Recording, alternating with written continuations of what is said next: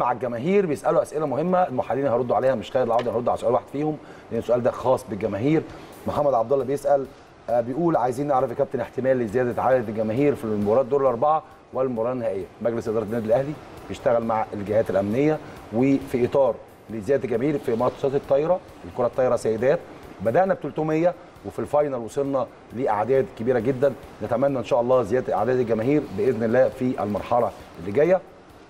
وأي زيادة لجماهير النادي الأهلي هتكون داخل القناة هنبلغكم على طول بيها. آخر سؤال قبل ما نطلع لفاصل السؤال الأهم.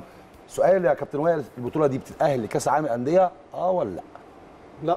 مم. لا. لأن طبعا هي كاس العالم للانديه زي ما اتكلمنا في حلقات سابقة مم. هي خلاص موضوع بقى تجاري بحت.